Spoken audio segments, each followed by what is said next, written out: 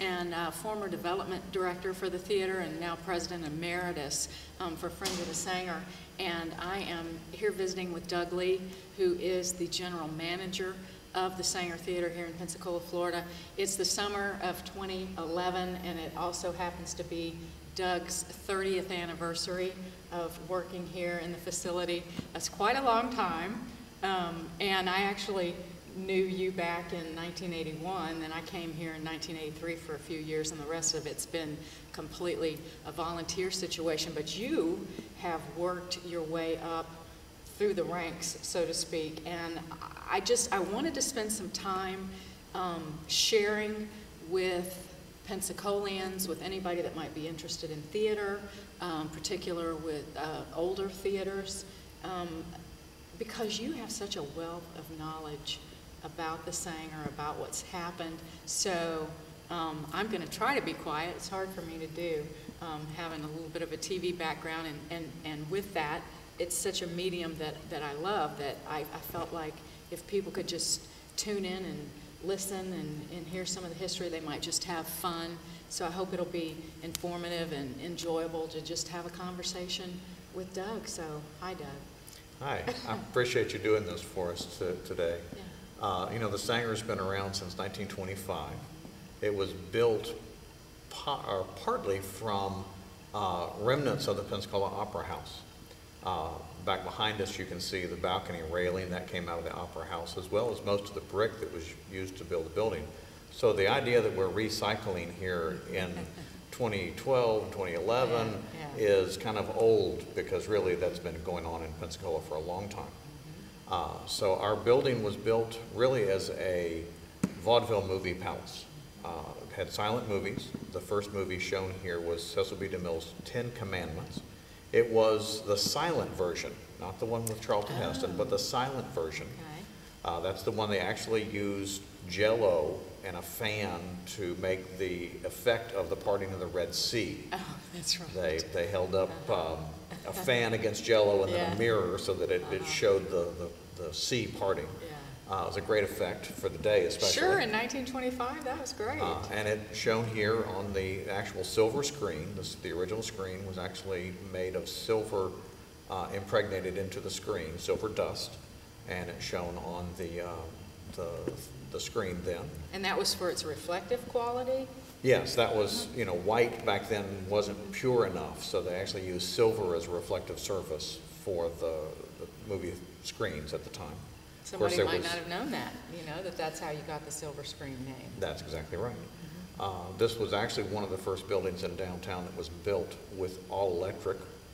Oh. Uh, This building was actually piped for natural gas lighting in case electricity was a passing trend. But There's still evidence of it within, within the building we've discovered during the renovations. Really? Uh, And so, you know, it kind of shows that progress, you know, and what may be, you know, electricity didn't end up being an eight-track player uh, that we all remember from our youth. Don't tell Uh, anybody that. uh, That our, you know, failed technologies, this building has actually stood the test of time and- and invested well in technology. Uh, The building was originally built without air conditioning Mm-hmm. uh, and was actually built to hold about 2,000 people. Initially. Uh, And now with uh, America getting wider, we've added more width to the seats, and we're down to about 1,600 seats in the theater. Everybody's gotten wider but me. I could still sit in those little seats, right? That's right, that's right. Of course, you're still 20 years old, so. Exactly. I uh, started working here when I was negative 10. That's right. So, um, Uh, anyway, no, people have gotten wider, and, and, you know, there was some, actually a little bit of concern about, um, about that, but didn't sight lines improve and, and that kind of thing? And, and a lot of seats, when the theater was switched over and became more of a, a performing arts center, some of the seats couldn't be used, isn't that right? In the, uh, in the late uh, 70s, early 80s, during the first renovation, uh, we actually were able to restore the seats that were in here and use them over. Uh, In the more recent renovation, uh, we had to take all of those seats out. We found that, that the company, however, that made them in 1925 was still in existence and was still able to reproduce the original seats from the original molds they used in the 20s, which is a great That's historic mold. fabulous, yeah. Um, In the 40s, the theater was modernized. Okay, Uh, They added air conditioning. It did not have air conditioning before the 40s. right, hot. Um, They tore off the box seats off the sides of the wall, the upper box seats. Okay. Because they put in widescreen movies, CinemaScope I movies. gotcha. Uh, And the box seats, of course, catch a shadow on the screen. Mm-hmm.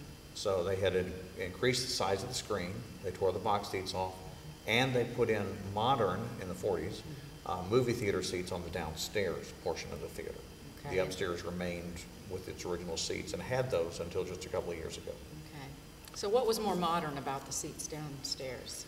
Uh, They were just typical 40s movie theater seats. mhm. Um, They, um, Just a little more updated than, than what had been there previously? yes. Yeah. Uh, Wasn't there something about um, some metal um, shortages or needing more metal or something? Or am I thinking of something wrong that, in relation to the seats at Well, the, point? the- the style of those seats Uh-huh. uh, ended up being made uh, out of um, a lower grade metal for the, the castings of the. Okay. seats. Instead of Uh-huh. being cast iron, they were a lower grade Okay. because obviously all the steel production in the U.S. was going toward the war effort at the time. All right, that's what I- Um, The theater was modernized partly because the Navy Yard here was operating 24 hours a day in three shifts, and they ran the theater 24 hours a day to accommodate the people that were working those other shifts. So Oh, they ran movies all day, 24 hours a day, to accommodate those various shifts. right here, Right here. right where we're sitting. Yes. The screen came down and all the people viewed um, newsreels too, right? Yeah, newsreels, uh, films of the day. Um, It was the, you know, the information outlet. It was the internet of its day. You came down, you watched the newsreels. Uh, You got some information on the radio, but you got no images. Sure. And so that was the way of the audience here could connect with their family, friends, uh, sons that were overseas fighting the war. So what a great service that Lady Saenger provided during wartime and, and, and for this whole community, for our naval community, if nothing else. That's, you know, I, I think, I do remember because I've helped do a documentary that, that, that we talked about people coming here to see the newsreels, but I don't think it computed with me that it was actually open twenty-four hours a day. Yes. That's amazing. That is some really cool information. Now, let's get back to you just a little bit, because you kind of worked your way up through the ranks to become the general manager and have seen really literally every square inch of this facility through a number of renovations. Um, tell me about your um, career here at the Saenger. Well, I started out as a college student before the theater was renovated, came down and did some shows with Pensacola Junior College. Uh, Back then, there was no renovation had been done. The stage hadn't been used as a stage in years. The movie screen, of course, kind of blocked off the, the rest of the stage from the audience, you know, being the fourth wall. And that uh, led to uh, becoming the first full-time stage manager here at the Saenger in 1981. Okay. Uh, And uh, That was in the 70s then. I worked in the 70s, Uh-huh, yes, as a, as a college student here before the renovation. okay. Then the theater closed for renovation. Right. And following that, I came on as the first actual full-time employee of the Saenger Okay. as a performing arts center. Okay. And since that time, it has functioned as a performing arts center for Pensacola, not as a movie house. Uh, and my career, you know, started out really unloading trucks, uh, and then became stage manager, and then technical director, and then operations director, and then somewhere I wasn't paying attention and became the general manager. Yeah, but, but that, you know, that sounds um, a little more opulent than it is sometimes to be the general manager of the theater, because I mean, I know you have had to do everything from, like during the renovation, I think some, some locks got messed up, you were, you were fixing locks and, and do, doing kinds of things that, uh, you know, an ordinary general manager might not know how to do, is that correct? Well, general manager basically means that I fix things while I'm still wearing my coat and tie, Ah. instead of being able to go go and do that wearing jeans. Mhm. So if there's something wrong, this is a small operation, if there's something wrong, right. we just have to deal with it. Yeah. And, you know, if that means repairing a toilet, wearing a coat and tie, that's what we do. The very first show, Yeah. uh, September 26, 1981, after the Right. renovation, the Duke Ellington Orchestra was on stage. Right, and there was a problem up in the rigging above the stage. So in my tuxedo, I climbed 62 feet up and above the stage Yeah. during the show Yeah. and fixed the problem and came back down while the band played. And shook hands and enjoyed the big grand festivities, right? That's right. Well, that's amazing, and that in itself is such a gift to Pensacola and to the Saenger, to have somebody that not only loves her, and I'm sorry, she is a, a woman, she's the, been the grande dame of, of Palafox and of Pensacola for so long, but to be able to have the, the passion for the theater, and, but to also be able to fix the toilet when it breaks, um, I'll just speak for the entire community and say thank you for all your years of service doing that. Now, let's talk about, um, going back, so we, we had the nineteen twenty-five grand opening with the movie. Mhm. Um, in the forties, some modernization, boxes coming off. Um, did this theater ever go into a state of any kind of decline to the point where its future was questioned? Well, like many um, small towns, downtown areas, when the malls became a phenomenon in the late 60s and 70s, uh, a lot of the businesses downtown closed and moved out to the mall. Directly across the street from us was the Sears department store and the J.C. Penney department store. Uh, When they left and went out to the malls, uh, a lot of the other uh, businesses followed. Uh, Jewelry stores, uh, there was a toy store down here, there was a Newberry's down here. Lots of small, um, you know, mom and pop businesses down here. Right. And a lot of those closed down, and downtown became a pretty scary place. I remember as a college student, this was a place that even college students were afraid to come to at night Really, in the seventies? in the 70s. Uh, So the, the theater also followed that decline, uh, went to showing kind of second-run um, movies that were, you know, low, Mhm. low-quality Right, 70s right, movies. Right, Uh, And then finally ended up evolving into an X-rated movie theater Ugh. for a period of time. that's a shame. Uh, And at that time, they had taken all the light bulbs out and put in pink light bulbs. We're not really sure why. Yeah. But that's the way we found the building in the late 70s, when ABC Theaters finally decided just to shut the operation down. Mhm. Uh, They moved the general manager that was here uh, from this theater over to the new Plaza Cinemas, which don't exist anymore, right, they're gone. Right, that was, where was that, at Town and Country? That was behind Town and Country. Okay, yeah. Um, And the, uh, the theater was given to the city for a dollar. Dollar, I wish they'd have given it to me, for a dollar, how fun would They, that uh, be? uh, the city's intention originally was to tear the building down and put a parking structure here. Oh, good plan, Um, she says facetiously. Now, the, fortunately, there is a uh, Robert Morton pipe organ in the Uh-huh. theater that was originally used during the silent movie days Okay, uh, to accompany the, the films. And that organ still existed at that time and still exists today. Uh, And the American Theater Organ Society went to the city and said, we want the organ. And the city said, fine, take the organ. Uh-huh. You know, that. we have no use for the organ. Exactly, they were gonna tear the building down, so Mhm. why, Mhm. you know, salvage the thing? Sure. They didn't think it had any value. Um, And not long after that, they went back to the city and said, well, we need a place to keep it. The- it- it- It's a big room. It's big, Yeah, it's a big room organ. It- You can't put it in your living room because it's bigger than most people's living room. Uh, Keep in mind. Bigger that- than the yeah. living room? Yeah, keep in mind that the, the organ is not the part you see that is played. Right. That's the console. The The console. organ is a huge array of pipes, Right. some of them 32 feet long, uh, and others of them down the size of a pencil. Mm-hmm. Uh, And they fill two huge chambers uh, that are on either side of the front of the theater. Uh, So they went to the city and asked if they could keep that and keep the building, and that started the Community Affairs Board, which later became the Friends of the Saenger. And the Friends of the Saenger organization, along with the University of West Florida and the city of Pensacola, then renovated the building and made it functional in 1981 as a performing arts center.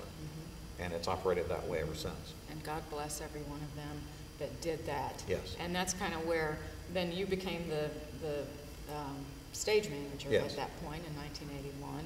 Um, I came along in 83 as the first development director to help um, with community awareness and parties and fundraising, because let's face it, um, an older facility, I mean, it's on the National Register, right? That's correct. And so renovations, restorations are a continuous part of the deal, um, right? I mean, it's an older facility, or I, I guess at this stage of the game, it's maintenance.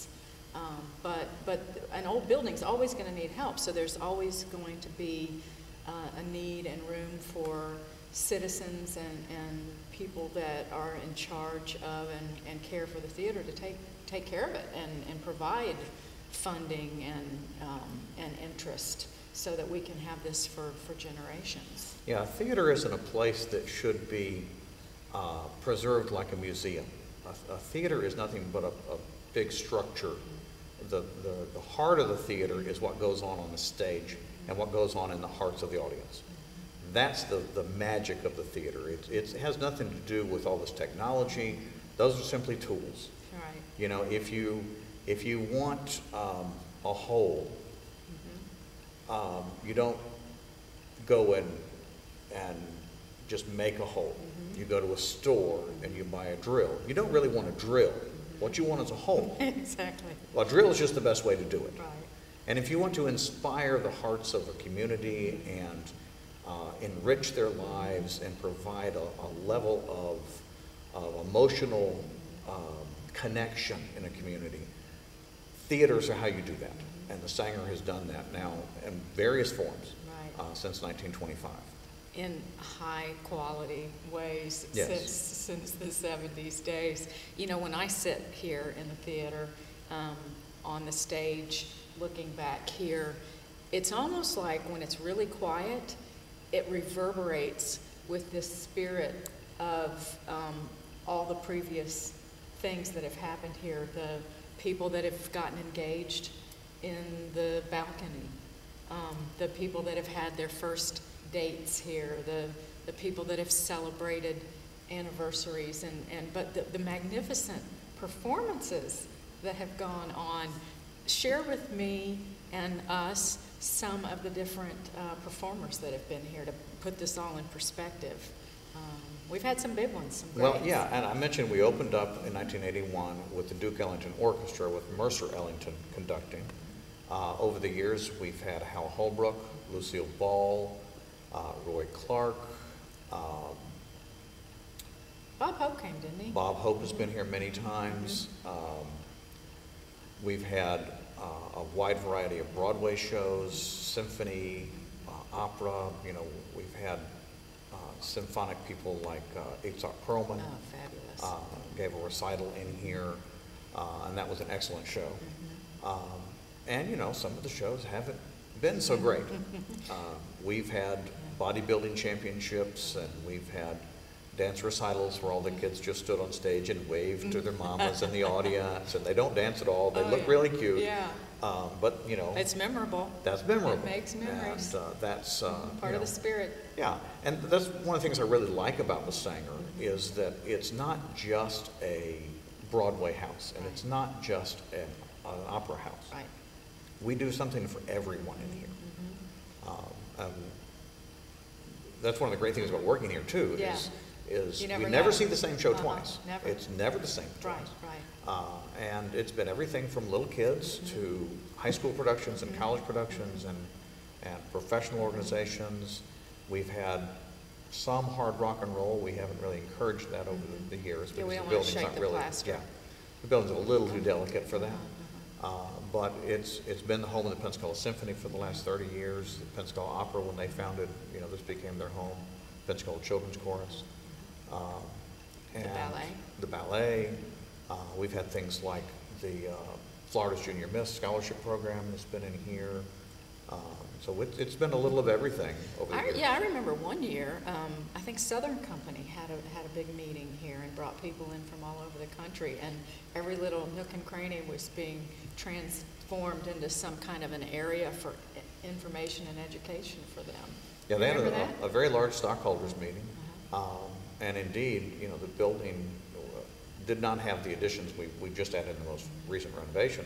Uh, So every little closet was an office for some Right. executive Right. and, you know, things that were normally broom closets, you know, were high, company executives or telephone rooms or, you know, we had to add 25 telephone lines just for that day. Yeah, that's amazing. But now, okay, so in eighty-one, it was opened as a performing arts center. It was what, a five hundred thousand dollar renovation, so it was Well, there was, there was five hundred thousand dollars from the University of West Florida, Mm-hmm. and we also had, uh, community fundraising of about a million dollars. The entire renovation at that point cost one point six million dollars. Okay, Um, and then the more recent renovation, just a couple of years ago, uh, was a fifteen million dollar renovation. Once again, the community stepped up and they raised money and also agreed to, uh, participate in the local option sales tax referendum, uh, which funded a, a good deal of the renovation. you know, fu- funny thing about that is, um, standing out on the street corner, um, with the placards encouraging people to vote for the local option sales tax. Um, people such as yourself, I know I was out there, I know Bill Greenhut was out there, Robert De Verona, and it was really fun to see some of the symphony people and some of us out there encouraging the community to support that local option sales tax penny, um, so that we could get some, some money to, to put into this magnificent facility. And, and having done that, let's talk about their free performances in here as well. As you said, it, it, the gamut is run here. Some school children have their first experiences here. We, we do about twenty thousand children through here a year that come in for uh, various shows. The symphony puts on a, uh, an educational program. The opera puts on an educational program. The children's chorus puts on an educational program, as well as a number of touring uh, theater groups that come in and do uh, shows uh, that sort of they're specifically designed to coordinate with the curriculum in schools. Um, And those happen typically in January and February. Uh, So we, you know, the city becomes a huge bus center down here as we have as many as 120 school buses riding around the downtown streets. Well, now we've got new, uh, as you said, it's not the, it's not the tools, it's, it's what is provided, but, but we went from a smaller stage because it was originally vaudeville. Talk about the, the people that, um, how they got in here and, and, and how the performers were in the nineteen twenties. What was going on back here on, on the street back here? Well, the, uh, the original stage uh, was 34 feet deep and 71 feet wide? With the opening to the audience about 43 feet wide. We call it the proscenium. And that was it. The outside walls went directly to the outdoors. Uh, now, in the 20s, when people, when vaudeville performers were coming through, they basically brought everything they had in a trunk. It came off the train, and they brought it from the train station down here, and that was their backdrops or props or whatever they used. In fact, most theaters that were in a chain, like the Saenger, would have had a stock set of backdrops. There'd have been a garden scene and a city scene and that sort of thing. Yeah. And so you just had your choice as the performer of what was going to be behind you. what you were gonna pick. Uh, and those things actually hung around in the theater until even into the 60s, and then they just went away. We don't know exactly what happened to them, which is a shame. That is a shame. They probably had deteriorated to the point that, you know, they, the fabric was just gone. So when you talk about the original company that owned the facility, the Saenger Amusement, Saenger Amusement Company, yes. and they had how many facilities around the southeast? Well, the number varies depending on which historian you look at. There were about 13 or 14 Saenger theaters built that they actually put their name on. Okay. But the Saenger Amusement Company actually ran at their height about 250 facilities. Really? Uh, In Pensacola, the Isis Theater and the Saenger Theater Okay. were, were both run by the Saenger Amusement Company. Uh, The Isis Theater building is still there. It's at the corner the of corner. Palafox and Garden Street. Uh, It's now an office facility, Uh, but the structure is still there. Um, And then there were um, other Saengers in the, in the chain set up about one day's travel apart so that a vaudeville act would be hired to say, start in New Orleans and then go to Biloxi and then Mobile and then Pensacola and make the rounds. Uh, They had uh, facilities that we know of as far uh, west as Texas, Mhm. Texarkana? uh, Texarkana and up into Arkansas, um, and through Louisiana, uh, Mississippi, Alabama, and, and Northwest Florida that we yeah. know of. Right, right. Um, There's some others in the historical records, even uh, down into Puerto Rico. Really? There's one they talk about in Costa Rica, but I've not really found any real documentation of that one. I thought I was kind of a historian around here, and I didn't know that. That's amazing. Well, you know, and it, when you hear some of the history, though, you'll hear there were six or seven in the, in the Saenger chain, but you're saying there were a whole lot more than that. There were a lot more, there seemed to have been kind of uh, regions that the buildings were kind of, and time frames that they were, were built in. Uh, There were basically three floor plans that they built. Now, there were also other uh, theaters that they absorbed the operation of. They either Okay. bought them out, uh, s- they're, they're undocumented historical stories, and I- I'll say undocumented, being a good bureaucrat, I'm not Right, gonna stick my neck out here right. uh, of the Saenger chain and other of the larger chains, going in and basically starving out the, the small mom and pop startup movie companies um, by, you know, Right. basically running their buildings for free until the other group went out of business and then they bought them cheap. Gotcha. Uh, Allegedly. Allegedly, yes. That's a Uh, good news word.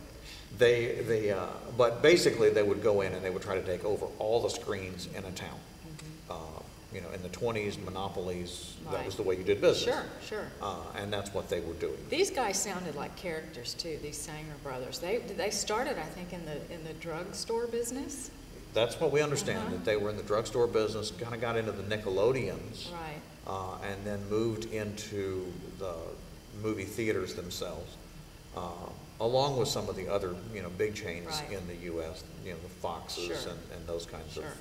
Of, uh, theater chains. Well, and I'm so thankful that they did because they had such a, an opulent style. They really seemed to want to make the theater, as you said, a place that was so magnificent to go into that, that then you could be put in a position to have that experience. Um, Yeah, a lot of the experience was the room. Mhm. It was going in and, uh, you know, imagine Pensacola in the 1920s. Right. There weren't a whole lot of opulent structures No. at the time. Uh, The most opulent things around were churches. Sure. Um, And there were a few government buildings that were impressive, on the outside at least. Mm-hmm. But then coming into a a- a vaudeville movie palace like these, and these were very popular to build in the 20s, Right. uh, with all the ornate effects, uh, some lighting effects, and remember, lighting was new. Sure. Um, And so, you know, that was, you know, watching the movie was just a part of the experience. Coming into the building was part of it. You know, there were, um, there were staffs here, and, you know, on our mezzanine level, there's an area that used to have an ice sculpture Mm. all the time that, you know, as the, the ice Mm-hmm. melted, there was a, a collection, you know, bowl. Uh-huh.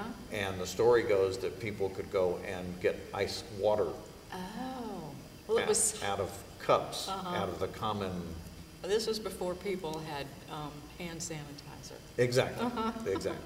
And besides, not to mention, this building without air conditioning is hard for me um, to imagine. Well, it's not entirely, because I know there were times prior to the renovation and restoration in 2007, 2009 timeframe, where the original air conditioning um, was having a struggle. What, that was um, the original ducts and wood and all kinds of stuff.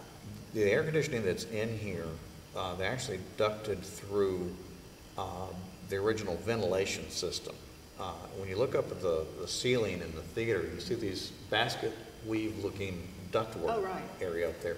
And those actually originally went into large exhaust fans that were on the roof. So that's part of the system. And so when pretty. they, when they added the air conditioning, they reused that wooden area that they literally made out of tongue and groove pine, uh, and incorporated that into the ductwork for the air conditioning. Uh, when they, they, uh, in the forties, when they modernized the building, we talked before, Right, right. uh, there was a dressing room tower off on the side, the south side of the building, stage left, Mm-hmm. uh, that they took over the dressing rooms and turned that into mechanical rooms for the air conditioning compressors and the fans and that sort of thing. And that was routed through. Well, that basic system remained until the renovation two years ago. So that was that big ugly corner that we would see there. Yes. Was all of that. that kind of urban blight Uh-huh. mechanical thing that we had on the side of the building for all those years. It sure looks prettier now. Yes. um, The way it was, um, that whole street has been uplifted um, as a result of that renovation. But what I was going to say is, so they really needed that ice water because prior to that renovation, I was here for a, a movie event. I think it was um, Winterfest had um, the Jimmy Stewart movie, It's a Wonderful Life. Right. And sitting down pretty close down here in the winter, it was cold. Right. Really cold. You could, uh, it was one of those nights where the air conditioner wasn't working just right. Right. And so, can you imagine the heat in here in the twenties? Um, must have been hot.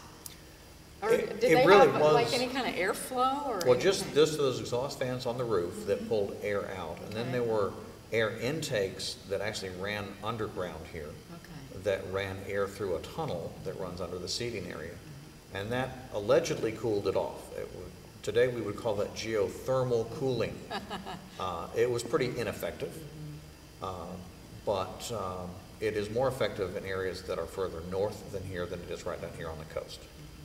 Um, You know, you can't really build much of a basement here to get the ground cooling that you need for that And why work. is that, Doug?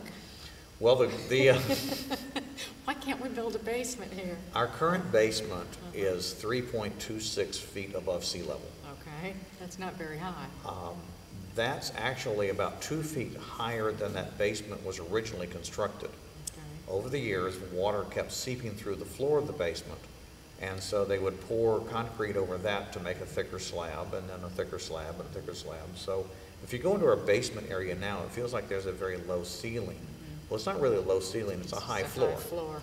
Uh, So that area, which still has issues with water, um, not really because of the sea level issue, but gonna ask about because there is a spring, an active freshwater spring that runs underground under this building. Hmm. Uh, If you're, you know, familiar with Pensacola at all, you know that there, we have Spring Street. Spring Street, right? Has that got And- anything to do with our spring? And that is indeed the spring that, that, uh, the head end of that spring was at Spring Street. Now that, the head end is, is no longer visible anywhere with, you know, the downtown having kind of taken over that sort of thing. Right. But the underground spring still exists, and we understand it outflows down on Pensacola Bay, Huh. uh, near the end of Ninth Avenue. That is so interesting. Maybe we could get a bottling company here and bottle the Spring Street water and, and use the money to continue to restore the theater with funds from Pensacola Spring Street water. Just an idea. Just an idea. My mind's always working of thinking of ways that we can continue to, to keep people interested in, um, in coming to the theater, which is not up to any of us anymore because it is so grand now. I, I walked through with somebody after the renovation who said, this is truly a world-class performing arts center now. It rivals, um, so many of the, of the great facilities. Speak to that. Well, most of these theaters, and this one in particular, were built with reasonably good acoustics for the vaudeville acts. Okay. Uh, Amplified sound really wasn't thought of when the building was built. Okay. Uh, The movies were silent, Right. so you didn't have to worry about that. You had a huge pipe organ to provide background music and some other instruments depending on what was playing at the time. Right. They had a small orchestra. Uh, And then the vaudeville performers simply had to belt out and get over the, the Go all the noise way back. uh, of the audience. Uh, The, uh, uh, the renovation we've recently done, uh, actually, we spent a fair amount of money improving the acoustics of the room to make it better for live theater and for live music performances. Okay. Uh, When the symphony used to play in the Saenger, most of their sound was absorbed by all the stage curtains that were over their heads. Kind of stayed right here, so the audience didn't get the full effect. So, uh, in the renovation, we added uh, an orchestra shell that surrounds both the- the above and the sides. We left the back wall as it is. It's a 22-inch thick brick wall, and the acoustician loved it. He said, "Don't do anything to that wall. Don't put anything in front of it. Just make that the back wall." So indeed, that's what we've done. I love that word, acoustician. That's such a good word. I'm just glad I said it right this time. You did say it right. Uh, Now, the, uh, the, the effect that's different. Um, if, if you go and sing in the shower, Right. you sound glorious. If you go into your bedroom, your same voice doesn't sound as quite as glorious to you. Right. Because your bedroom has, you know, Things quilting and, and right. carpet and that sort of thing. Your shower, on the other hand, is all hard surfaces. Right. And the same kind of thing happened here. We made hard surfaces that surround the symphony. Okay. We changed a number of things in the seats where they have some wooden exposed areas that help reflect sound, uh, as well as some other things to the walls. And kind of made the difference of, of the symphony playing in your bedroom or playing in your shower. Uh-huh. It really makes that much difference. Uh, and the symphony now is a world-class symphony and they sound great Oh, in here. They're fabulous, and what a great way to explain that whole sound thing to us. So it's very important. Um, you know, a lot of times people don't realize how much thought and effort really does go into a performance, and, and the, the answer is quite a lot. Well, we really feel like we've done our job. If you don't notice any of the technology and you don't notice any of the things we've done, all we want the audience to do is come and experience the social value of being with a group of people experiencing the same phenomenon on the stage.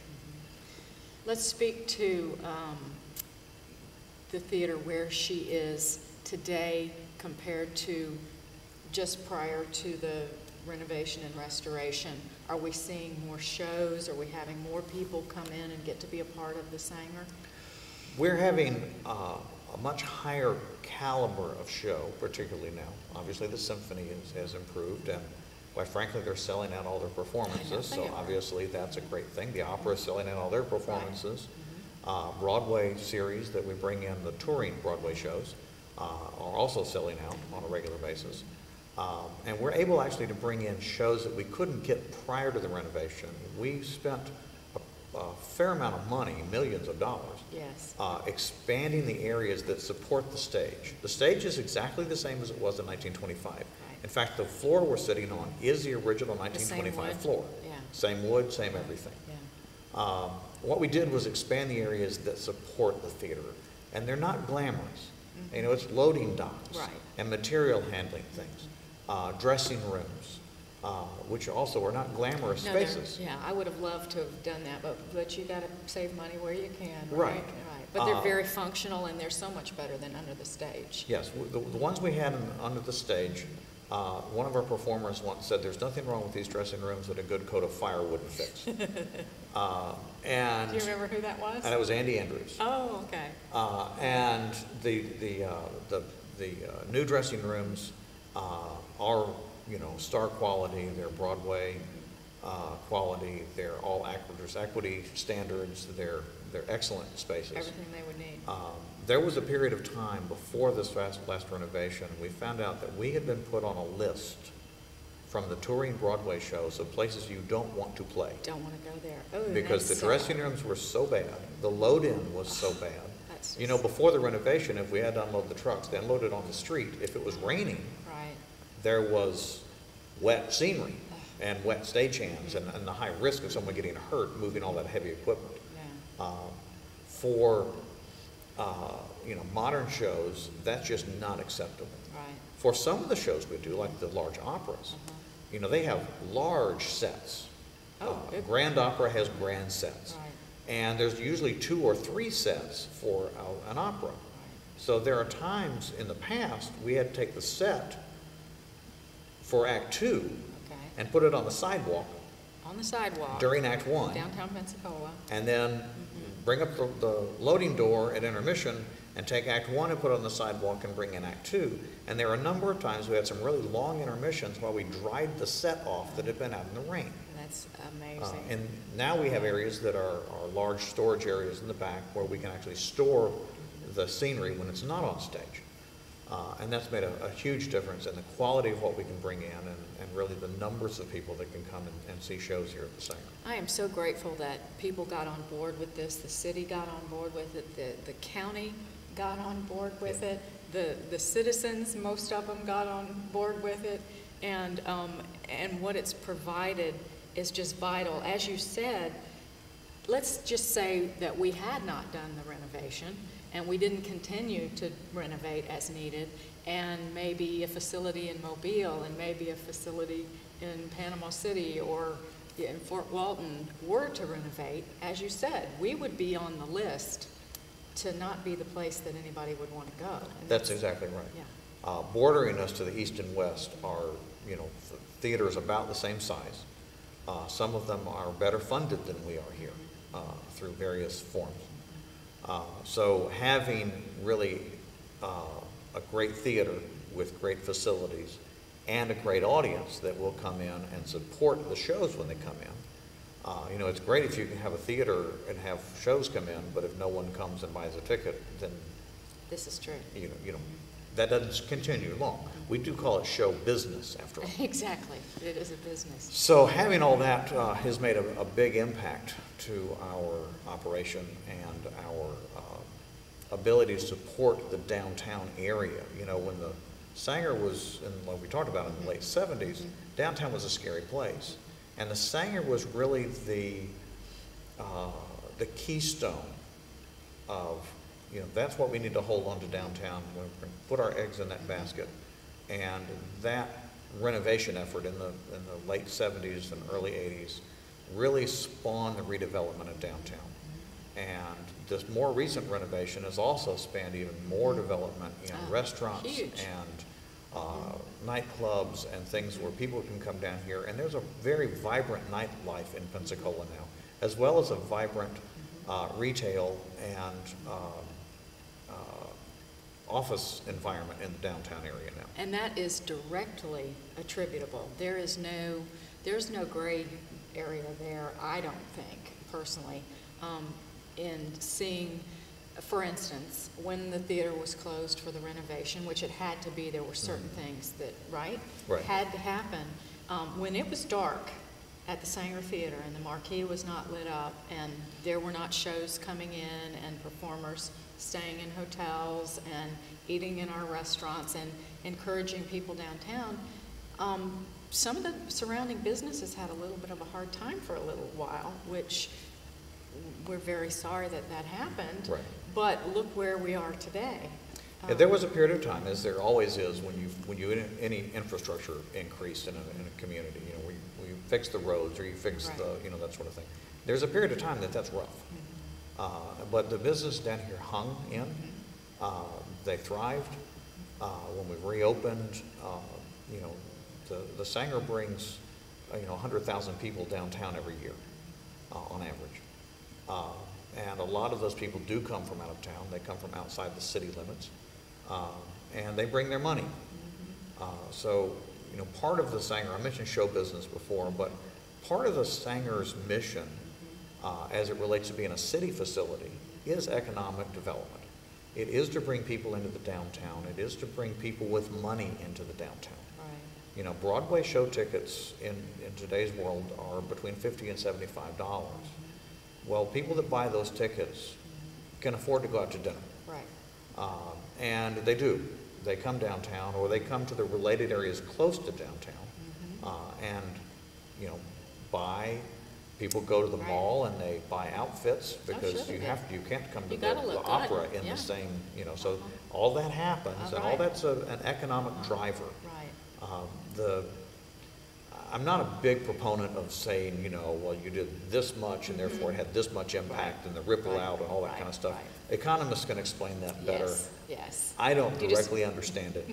It Uh, works, But I know that in a given year, we typically sell about two million dollars in ticket sales Mm-hmm. every year. Uh, and that's huge in this economy, is. in this, uh, in this community. Um, Because in addition to that, people indeed are, are gonna go eat. There are people that come into Pensacola just to see shows. They gotta get gas. And if no other thing, when we bring in a Broadway group, we're putting twenty-five to fifty uh, Right. hotel nights in Right, right. every time there's a show. Uh-huh. Uh, So those are, are important economic drivers, and that's really part of our mission as, as it relates to this building being a city facility. Sure. You know, the city is, is interested in economic development. The arts is a great thing to support, but we have to be able to afford it. Because we're an economic driver, that keeps the city support you know, for the arts and for the uh, entertainment values that we provide here. It all works hand in hand. Um, and just getting back one more time to not getting passed by anymore and, and the performers, um, I know that you have because you dealt with every single performer that came through here. Um, as a development director, I can remember we got in the show Evita when it was still pretty big and everybody, it was, it seems like it came, it was one of those where we got the call, we're gonna bring it in, and it was really quick. You know, I went and picked up the star performer, and I can't think of her name right now, in my little Toyota um, from the Pensacola airport when it had not been renovated yet. And, and you bring these world-class performers prior to the renovation in here, and they're sitting down in dressing rooms, Bru- Bruce Hornsby, their pipes right over their heads. It just, Lucille Ball with her little teeny measly um, dressing room that she had. It, it- you know, honestly, you, you go, we've got this great facility, here we are at Pensacola, but you were a little bit embarrassed um, by what we could offer, and that's not the case anymore. When, when these people from all over, these well-known, nationally known entertainers come in here now, we can provide them with the best, and that speaks very highly to Pensacola, I think. We can, you know, when the audience comes in the front door, Right. and they see, you know, the lobbies, and they come into the seating area, and it's all opulent, and it's all pretty, that's great. Mm-hmm. The performer, however, uses the stage door. Right. And in the past, they came in a little door and they went down a narrow stairwell that was, it was so narrow that when we did operas, some of the dresses wouldn't fit up the stairs. The ladies literally had to flip their dress up and come up sideways up the stairs. Thank you for doing that, by the way. Uh, Yeah. so, that we could be you know, entertained. And now the, uh, the performers are brought into a nice area, uh, where there's, you know, actual, you know, it, it looks like a hotel room quality environment. Now, there's not all the, the- the amenities of hotel, you know, that sort of thing. Sure. But it's a, it's a nice space. So when you bring in someone, you're not embarrassed. Right. And their attitude is better when they come out to perform. Oh. Because they don't actually see the theater typically until they walk on stage in front of the audience. Right. Uh, You know, when we bring in a touring act, they, they perform eight to 10 times a week. They don't need to come out and rehearse. Right. They come out and they just do their thing. All of their uh, support staff have prepared everything that they can, can, can walk out. Right, right. And literally, in some cases, they put little tape arrows on the floor that lead from their dressing room out to the stage, and then tape arrows that take them back to their dressing room. Make it really, really easy for Yes, them. because, you know, they're going Sure. from city to city Sure, to city, and, and one dressing room Oh. looks the same. Oh, and, yeah.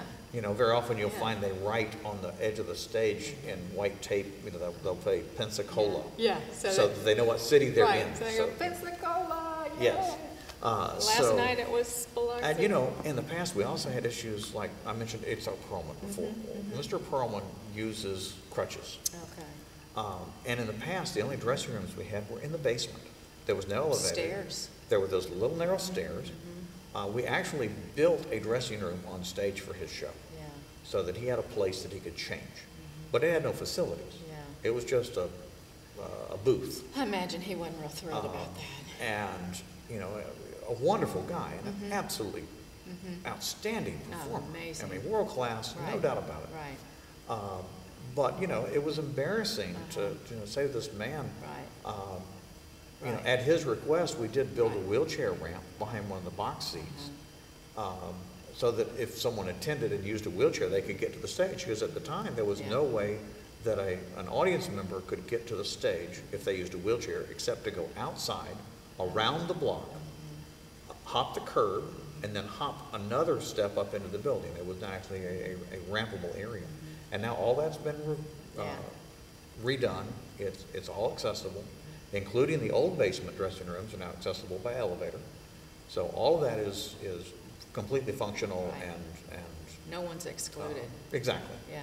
Uh, Audience members can get from the stage to the, uh, from the audience chamber Right. to the, to the stage, and the performers can also get in. So if you have someone that uses a wheelchair, they're not excluded from this Yeah, building. Yeah, and as you mentioned, if you have a happy performer, I imagine you have a much happier and, and uh, amazing performance Exactly, out of them. exactly. I mean, they're human beings. Right, right. So if they've come in and into a depressing area that it doesn't feel like they're being, Uh-huh. you know, nobody cares about them, Right. well, they're not going to care about the show. Yeah, And indeed, you know, this has made a big difference in in that attitude and, and how they, they get along. Um, You know, we, and we've done things over the years to try to make it as, as Oh, best we can. absolutely, bent over You know, backwards. A few years ago, we had the show Riverdance. Yes. Which of course you've, you've, Uh-huh. everyone's seen the Riverdance with the long line of dancers all the way across the stage. Uh-huh. Well, each one of those, you know, dancers needs a dressing space. Well, our basement uh, dressing rooms were so small, they weren't adequate. They, they, we couldn't fit all the people that are in the show in the dressing rooms. Uh, so we ended up in our parking lot that was to the south, where we've now added the, the new dressing rooms. Uh, we ended up renting two big construction site office trailers, uh, and setting those up, tenting across them so it was all covered, putting Right. walkways out there on Sure. the, in the parking lot, so they could get in their costumes across. Right. Uh, You know, we even had to bring plumbers in and have them, you know, restrooms in each one. So for the two days that they were here, we brought in all those trailers, we did all the plumbing, all the electricity, Oh all the air conditioning, to set them all up out there for a two-day show. And nobody knew that because they come in and they see it and, but that's, you know, that would be pretty inefficient, I would think. I mean, in terms of using up manpower and the rental and everything else, and now that's all, um, that's all self-contained. and- Right, And right. ta- taking care of itself. And we're not asking these folks to go outside, you know, in our Florida humidity, Oh, yeah. uh, and then come into the stage and look fresh and excited. Uh-huh. And even worse, to do all that dancing, Oh, yeah. And then go outside into the, the humidity and heat that, that we love here so much. Interestingly enough, it seems like that was one of the last shows prior to the theater closing for the renovation, wasn't It, it? it was one of the last major shows we had, yes. Okay, and, and keep in mind, again, people watching in a hundred years, um, from pulling this out of the time vault, that this is, um, twenty eleven. Um, Riverdance is on its way back. Yes, I think we're in the third farewell tour of Uh-huh, Riverdance. I was gonna say, um, Uh, allegedly, the, yes. the farewell tour. But they're coming back. They're coming back So we next have a chance to redeem ourselves, right? That's right. And um, Ted Neeley, when he was here for Jesus Christ Superstar, the um, first show after the renovation, Right. said to me, I remember this place when we came through the first time, and that was probably, what, 15, 20 years ago? Yes. When he came through. He said, I just can't thank you and the people at the Saenger enough. He said, it is a joy to play here, and he held his arms up like this, you know. Um, so he was appreciative, and I know you've seen that time and time again. I heard, um, oh, what was that show, Movin' Out? Those guys were like, oh, Yes. we heard this was not the place to come, but that, you've proved it wrong. Yeah, even a couple of years later, we're still having performers that come in and they're surprised because they, they either have read about the building, uh, they've the talked to their, they've talked to their friends Uh-huh. who are also, you know, out on the road touring. Right, it's a small, Uh, it, it's, it's a little community unto itself, and, and they, you know, they go from tour to tour, and they, you know, they remember things. right. Um, And so we- we're working through the negative reputation that we had, uh, but it's, it, the word is getting out there. It's a process. You know, we've had performers like Ron White that have been here several times. Three times, right? Uh, Yes. Yeah. And now, I mean, he Uh-huh. felt comfortable enough, he brought his bulldogs in. Oh, did he really? Uh, yes. He's always talking about those Yes, bulldogs. and Not he- that he I would brought- ever see him He, speak. he but- brought them in, but, uh, you know, Yeah. and, and had a great time, and he felt like very much at home here, Uh-huh.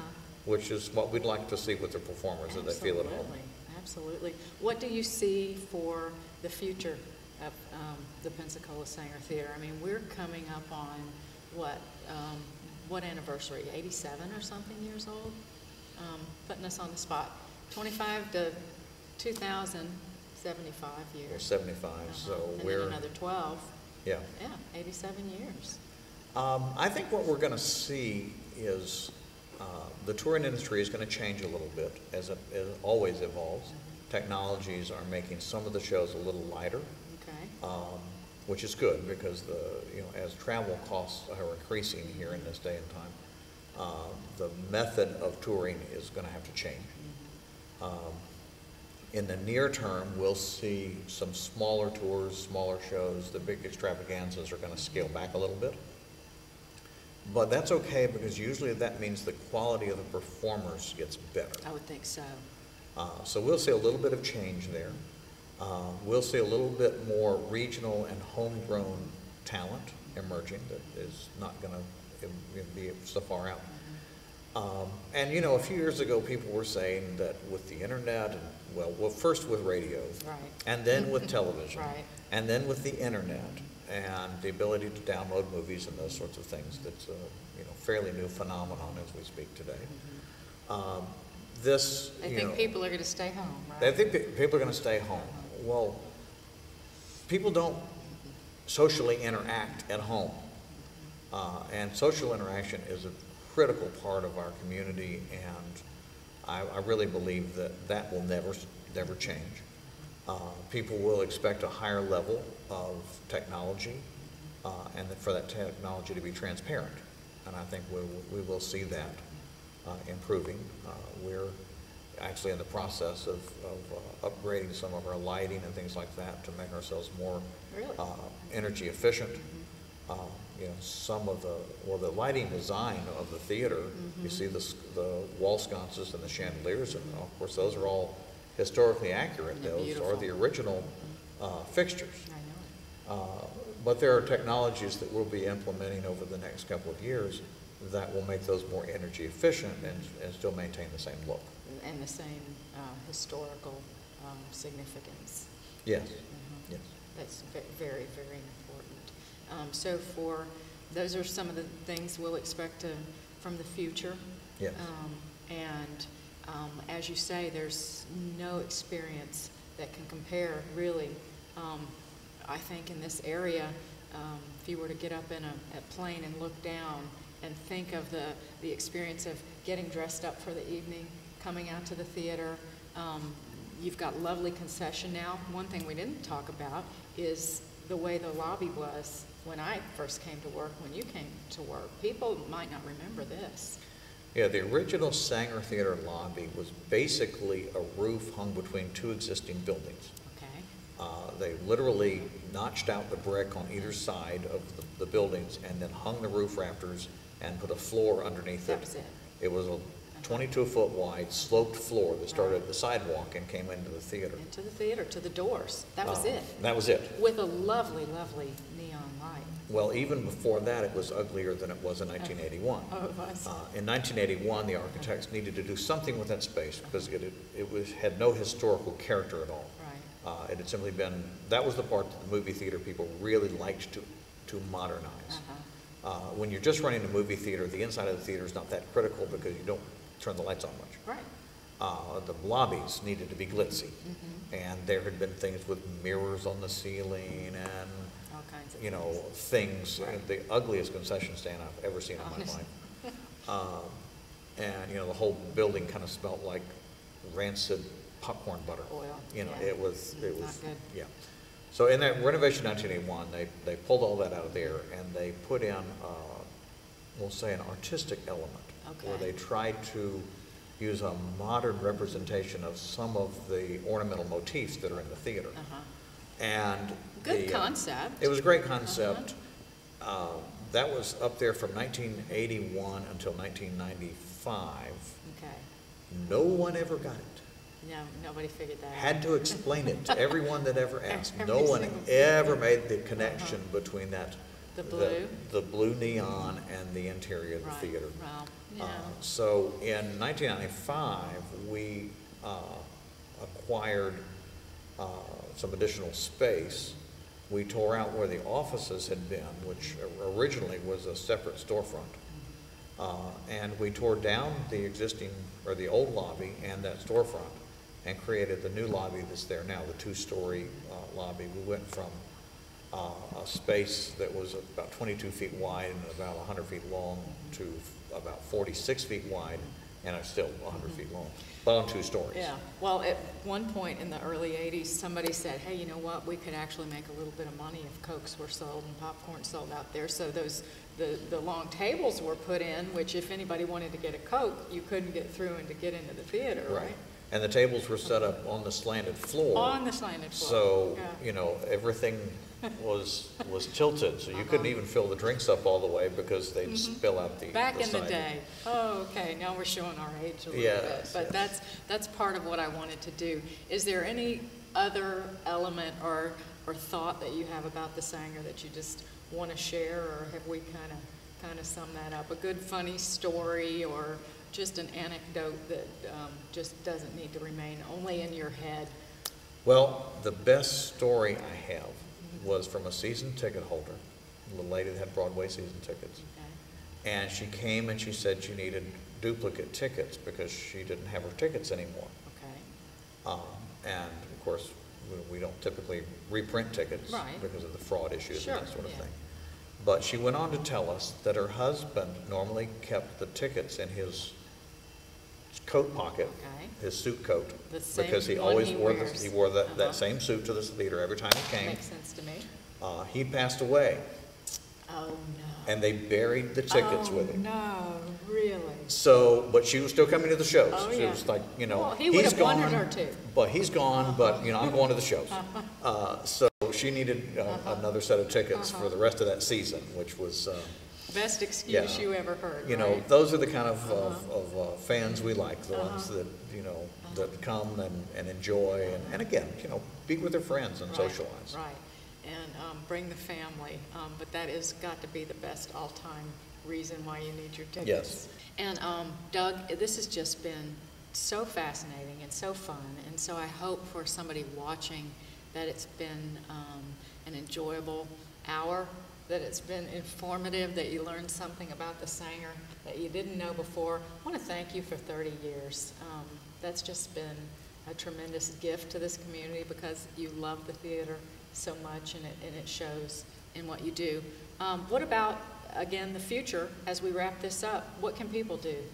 Well, I think no matter where you're, you are in watching this video, whether it's, you know, right after we film it or a hundred years from now, there's still gonna be an opportunity for the community to support the theater. So I'd encourage anyone out there just to go ahead and, and take this opportunity and, uh, you know, contact the theater and see what they can do to help. Mhm. So if they're watching it um, in 2011, 2012, 2013, you'll be here, the staff is here, and then in 100 years, somebody will be running it. So That's right. contact you and find out how they can help or be a part of this rich Pensacola history. Thanks, Doug. Thank you. It's been very fun. Thank you for watching, and uh, come down and enjoy the historic and beautiful Pensacola Saenger Theater.